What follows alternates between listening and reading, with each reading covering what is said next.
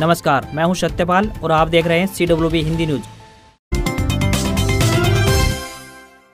Monsoon update, Bengal की खाड़ी में पहुँचा मानसून। जानिए आपके राज्य में कब देगा दस्तक। देश के उत्तरी राज्यों में एक बार फिर भीषण गर्मी का दौर जारी है। एक बार फिर बलूचिस्तान और थार मुस्तल की गर्म शुष्क हवाओं का सीधा प्रभाव। मैदानी राज्यों, खासकर राजस्थान, हरियाणा व एनसीआर दिल्ली पर आगाज़ किए हुए है। वही भारतीय मौसम विभाग ने मानसून के संदर्भ में एक मानचित्र प्रस्तुत किया है और बताया है की भारत के विभिन्न राज्यों में किस किस तारीख को मानसून पहुँचने की आशंका है। वर्तमान समय में मानसून अंडमान और निकोबार द्वीप समूह में पहुँच गया है। इक्कीस ऐसी छब्बीस जून को पश्चिमी उत्तर प्रदेश, राजस्थान, दिल्ली और उत्तर पूर्वी हरियाणा के अधिकतर जिलों में, साथ ही हिमाचल प्रदेश और जम्मू कश्मीर 26 से 30 जून को पंजाब और मध्य हरियाणा 1 से 5 जुलाई को शेष हरियाणा और शेष राजस्थान में पहुँच सकता है। साथ ही हरियाणा में जिला अनुसार मानसून 25 से 30 जून को हरियाणा के उत्तरी पूर्वी जिलों पंचकुला अम्बाला यमुनानगर, कुरुक्षेत्र, करनाल, पानीपत, सोनीपत, फरीदाबाद, पलवल, सोना तावड़ू गुरुग्राम और एनसीआर दिल्ली में वही एक से पाँच जुलाई को शेष हरियाणा के अधिकतर जिलों, यानी जींद, कैथल, रोहतक, झज्जर, रेवाड़ी, चरखी महेंद्रगढ़, भिवानी, हिसार, फतेहाबाद व सिरसा आदि में मानसून पहुँचने की संभावना जताई गई है। जिला महेंद्रगढ़, रेवाड़ी चरखी दादरी फरीदाबाद, परवल सोना ताउडू पर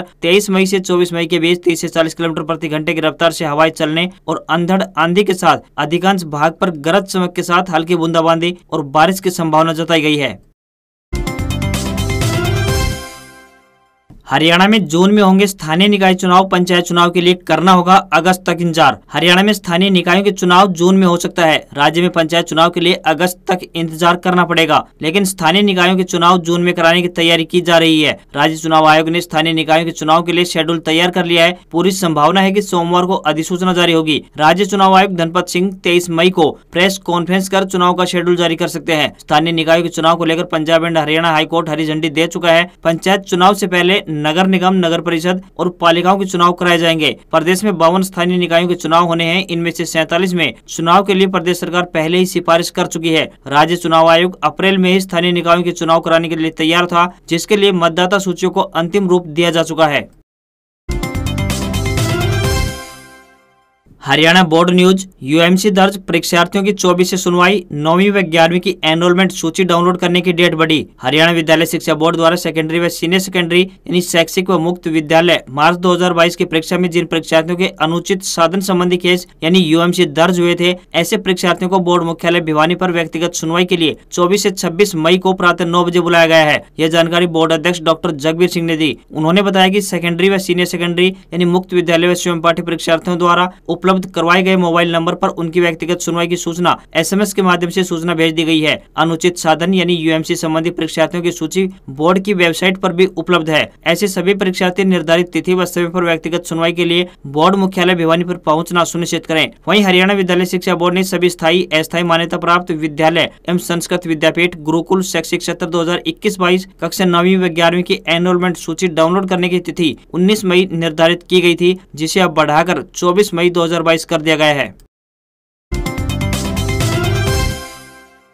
हरियाणा सरकार ने आरटीई में किया संशोधन। एक किलोमीटर के दायरे में आने वाले प्राइवेट स्कूलों में दाखिला ले सकेंगे बच्चे। हरियाणा स्कूल शिक्षा विभाग ने 2011 से लागू आरटीई में पुनः संशोधन किया है। इसके तहत अब प्राइवेट स्कूलों को आठवीं तक की मान्यता देने के लिए निदेशक मौलिक शिक्षा विभाग को अधिकृत किया गया है। या फिर वे इसके लिए किसी भी प्राधिकृत अधिकारी की ड्यूटी लगा सकते हैं। इससे पहले प्राइवेट स्कूलों को आठवीं तक की मान्यता देने के लिए मौलिक शिक्षा विभाग के अतिरिक्त निदेशक व संयुक्त निदेशक को अधिकृत कर रखा था। लेकिन मान्यता से संबंधित कई विवादास्पद मामलों के सामने आने के बाद अब निदेशक मौलिक शिक्षा विभाग को अधिकृत किया गया है। नए संशोधन के तहत अब ईडब्ल्यू कैटेगरी के 25 प्रतिशत बच्चे अपने घर के नजदीकी, यानी एक किलोमीटर के दायरे में आने वाले प्राइवेट स्कूलों में सीधा दाखिला ले सकेंगे।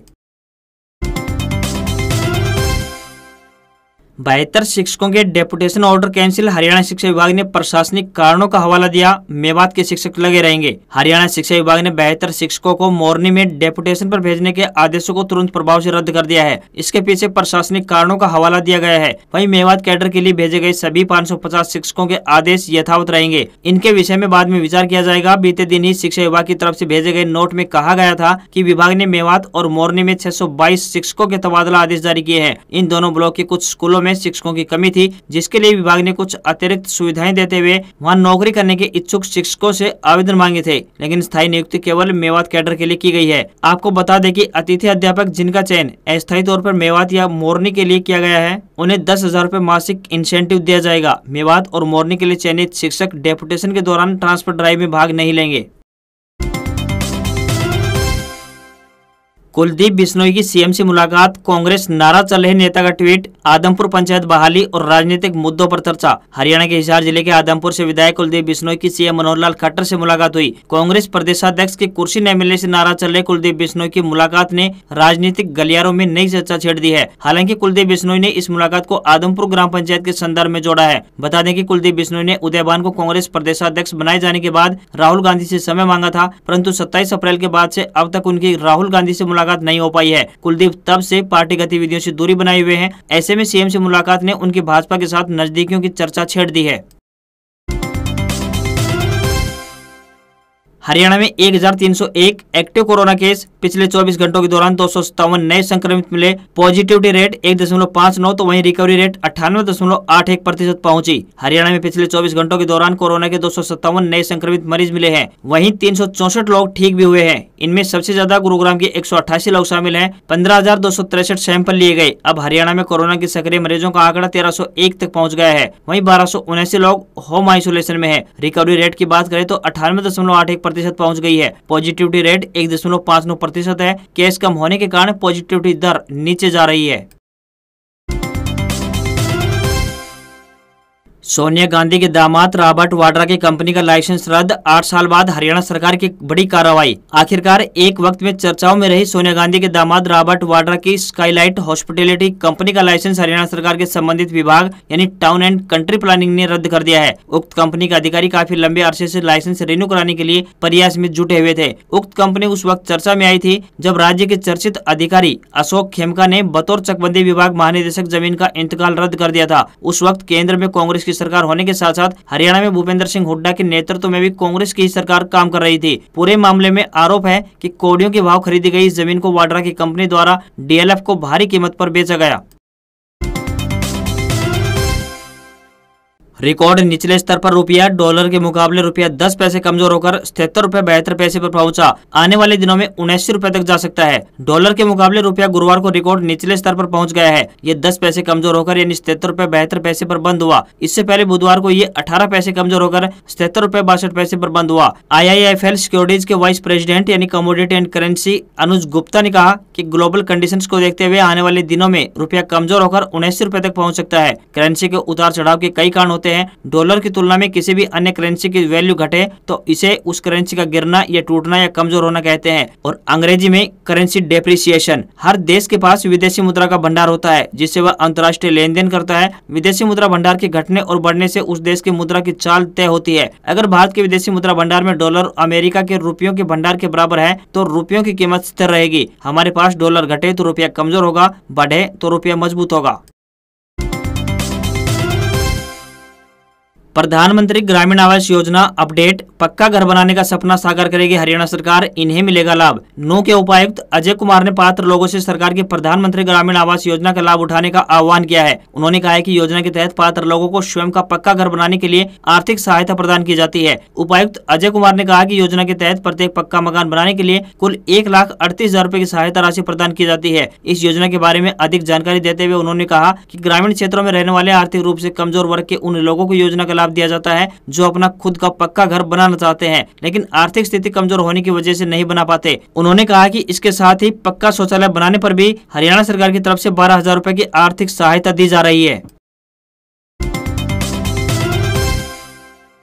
मारुति का हरियाणा में सबसे बड़ा इन्वेस्टमेंट सरकार ने खरखोदा में मारुति को 900 एकड़ भूमि की हैंडओवर तेरह हज़ार लोगों को मिलेगा सीधा रोज़गार। हरियाणा के मुख्यमंत्री मनोहर लाल खट्टर ने कहा कि हरियाणा कभी कृषि का केंद्र होता था, लेकिन कृषि के साथ साथ राज्य उद्योग में बढ़ा और आज हमारा हरियाणा वर्ल्ड वाइड इन्वेस्टर का फ्रेंडली डेस्टिनेशन बन गया है। मारुति सुजुकी के चालीस साल के सफ़र को पूरा करने आरोप मुख्यमंत्री ने कहा की जापान और भारत के संबंध सत्तर साल पुराने हैं, वे कामना करते हैं की ये संबंध प्रगाढ़ हो और हमेशा आगे बढ़ते रहे। उन्होंने कहा की खरखोदा में प्लांट के स्थापित होने से तेरह हज़ार लोगों को रोज़गार के अवसर मिलेंगे। मुख्यमंत्री ने कहा कि खरकोदा नया विकसित होता हुआ क्षेत्र है। यह एयरपोर्ट से मात्र पैंसठ किलोमीटर दूर, रेलवे स्टेशन और एनएच से 18 किलोमीटर दूर है, तथा के से भी इसका सीधा लिंक है। यह मारुति जैसी बड़ी कंपनियों की निवेश करने से औद्योगिक माहौल को सकारात्मक बल मिला है। आने वाले दिनों में यह क्षेत्र औद्योगिक हब बनकर उभरेगा और इससे क्षेत्र के विकास का पहिया तेज़ी से घूमेगा।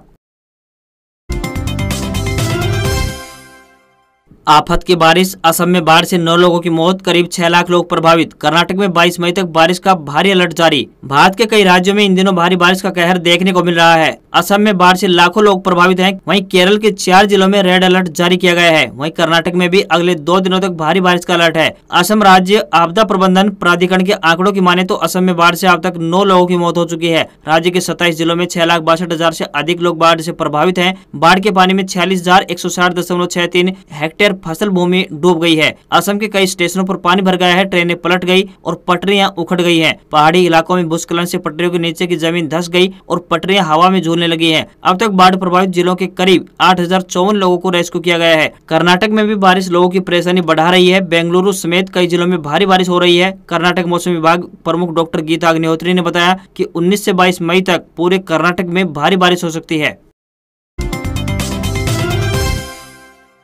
एम्स के शुल्क में बदलाव, अब तीन सौ रूपए तक की जाँच होगी फ्री, प्राइवेट वार्ड के चार्ज हुए दोगुने एम्स में इलाज कराने के लिए लाखों करोड़ों लोग पहुँचते हैं, जिनमें से कई लोग आर्थिक रूप से कमज़ोर होते हैं। ऐसे लोगों के लिए एक राहत भरी खबर सामने आई है। एम्स में अब तीन सौ रूपए तक की सभी जाँचों और लेबोरेटरी चार्जेस को फ्री कर दिया है। प्रशासन ने तीन सौ रूपए तक की सभी जाँचें मुफ़्त कर दी है। इस आदेश के बाद ब्लड जाँच, एक्सरे, अल्ट्रासाउंड सहित कई चार्जें अब निःशुल्क यानी फ्री हो गई है। एम्स के अध्यक्ष व केंद्रीय स्वास्थ्य मंत्री मनसुख मांडविया ऐसी मंजूरी मिलने ऐसी इसे लागू कर दिया गया है। एम्स प्रशासन ने प्राइवेट वार्ड का शुल्क दोगुना कर दिया है। वार्ड में बीस श्रेणी के रूम का चार्ज अब दो हज़ार रूपए ऐसी बढ़ाकर तीन हज़ार रूपए कर दिया है। वही डिलक्स श्रेणी के रूम का चार्ज तीन हज़ार रूपए ऐसी बढ़ाकर छह हज़ार रूपए कर दिया है। देखा जाए तो डिलक्स रूम का चार्ज सीधा दोगुना हो गया है। यह शुल्क एक जून दो हज़ार बाईस लागू होंगे। करीब दस साल बाद प्राइवेट वार्ड के शुल्क में बदलाव किया गया है।